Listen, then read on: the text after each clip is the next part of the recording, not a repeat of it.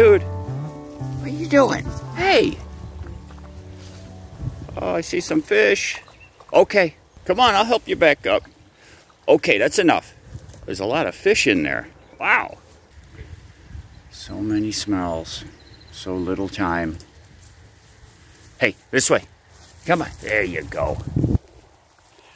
Several days ago over on the Patreon, I posted a, a question, a, a poll, and I asked if the folks would be interested. Let me back up. So I shoot a lot of video. I shoot a lot of video. I have cameras in my hand a lot. And some of the video clips never get posted for a, a multitude of reasons. Uh, I shoot things and then something else comes up, so I post that, and then we might move to a different location, and so I'll have a bunch of video left over that never got used.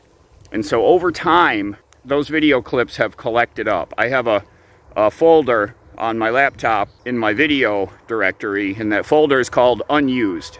I looked in it when I was typing up this question to ask everyone, all the patrons. I looked in that folder and there were some files that were a little over two years old. And I have cleaned that out before. So I cleaned it out, you know, in the first year because it was getting unruly and it has piled up again. So the question I asked them would, would they be interested in seeing kind of a, a, a mishmash of clips? They're things you know, their everyday tasks, um, you know, a lot of lefty video, obviously, just all kinds of stuff. And would, would they be interested in seeing if I took those clips and kind of put them together and let everybody see these things? And they all said, yes, they had a they had a great comment. I can't recall who posted it, but said that if if I put it in context, like instead of just releasing a video of all these clips, because you know everyone knows we're in New York right now, and if I start posting clips of the Arizona desert right next to a clip of being in Nevada, or you know, it could be confusing for everyone. And you know, I hadn't even thought of that. So that was a great comment and a great idea and then someone came up with the idea of naming it something like Fleeting Time or you all are going to see some videos that will be titled Fleeting Moments and they will be past video clips of all kinds of stuff. And I hope that you all enjoy them. It is just about breakfast time. Gotten pretty good at making do and cooking with what I've got here. I'll tell you, this fold-out table is a godsend. I don't, I don't know how I was functioning at all without that before. It's become my go-to station for eating and computer work and just really added such a such a useful surface area to my to my kitchen here. Just can't say enough good things about it. That's good enough.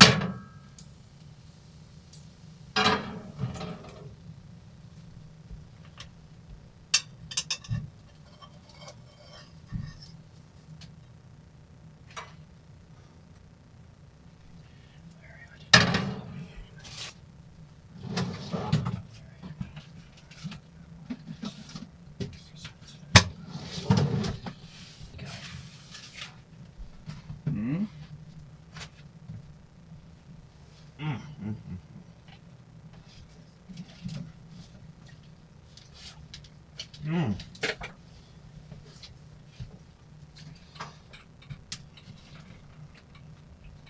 Let's go.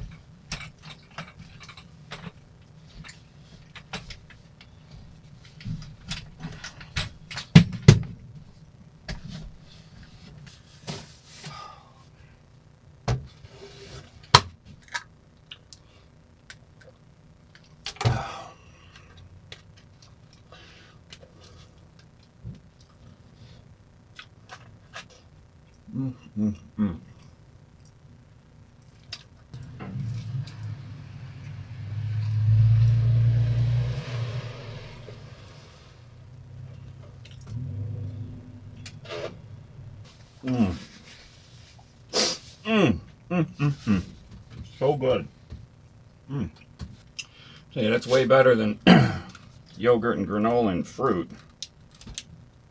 But it's good to have a a change. I mean, I like the yogurt and granola and the fruit, but it's every day, every day, every day. This is a nice change.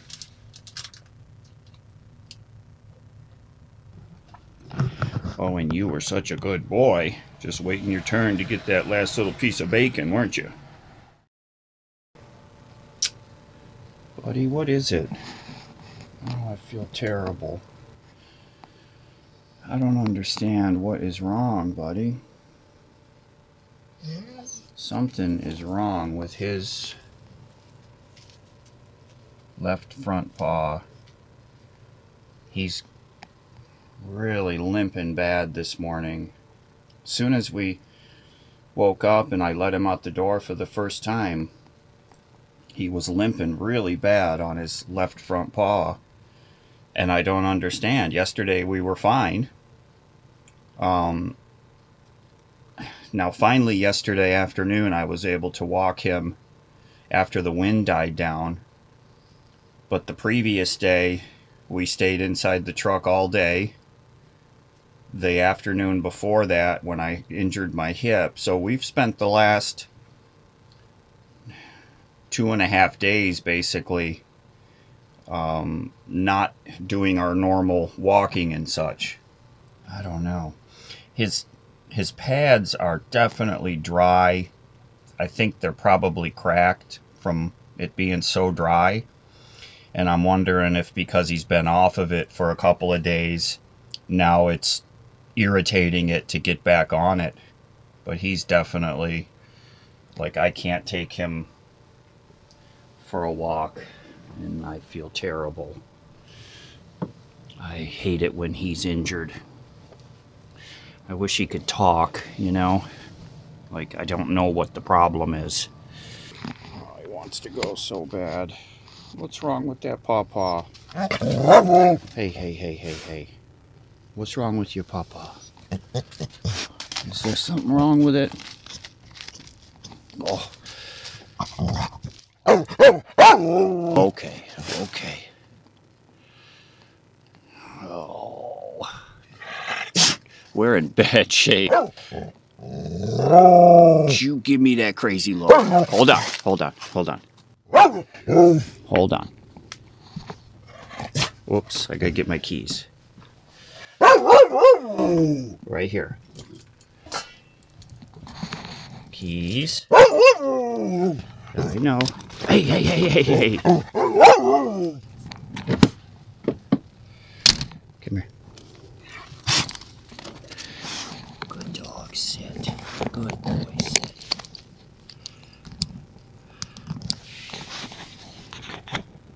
Come on. See, he's limping.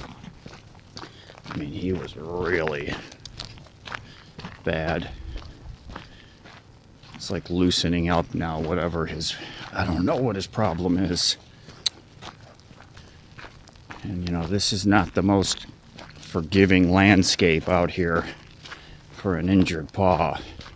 You got rocks and you got spiky cactus kind of prickly bushes and you know all kinds of obstacles.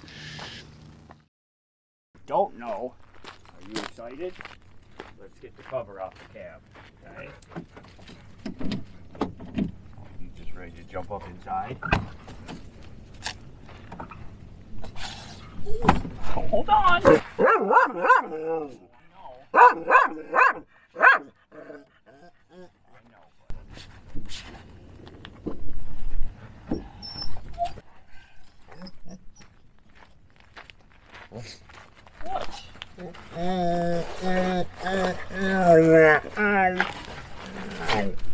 Are you talking?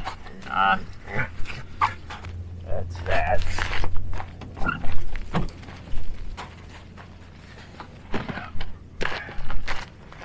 Stay, stay. Oh my goodness.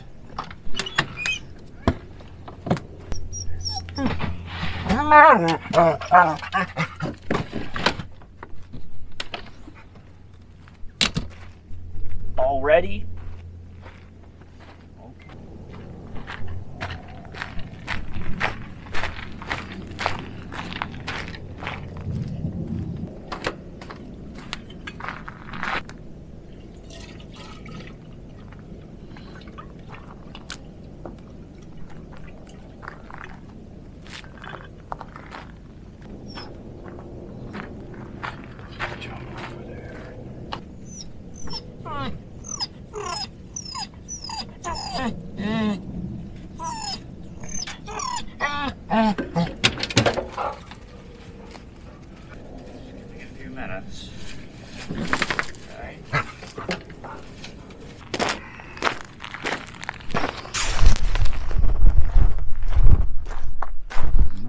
ready.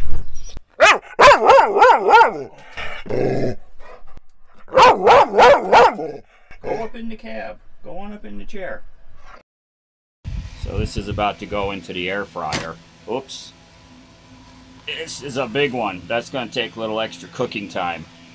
So I'm letting it warm up a little bit sitting out here before I put it in the air fryer. Because it's so warm today, I'm going to run the air fryer right over there in the shade next to Lefty. Hopefully he won't uh, try to get it before it's done cooking. So just gonna plug in here and that air fryer does pump out a lot of hot air, warm air, and when you're inside it can heat this place up. So I've got the, the little fan running, I'm sure you can hear it, and I've got the roof vent fan running. And the sun has put us in the shade on this side now. It's about 2 p.m. So I'm not following my rules of keeping my door side in the shade because in the mornings up here it was cool, but now in the mornings it's been warm. So the sun is finally going around. So now I got some cool air coming in. So I'm comfortable in here right now, but if I ran that air fryer to cook that jumbo hunk of beef, it would warm me up in here, which I don't really want to do today. I hope y'all like that video, all those clips together. I'm going to be putting out some more of those so I can clean out this directory.